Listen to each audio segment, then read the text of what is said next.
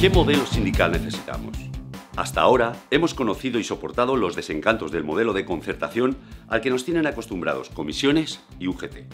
Estos sindicatos, más cercanos a las instituciones que a las reivindicaciones de clase, han consolidado un modelo sindical cuyo objetivo es la negociación pacífica con las empresas y el Estado para mantener los derechos de las trabajadoras en el límite de lo admisible a la vez que se mantienen los beneficios empresariales.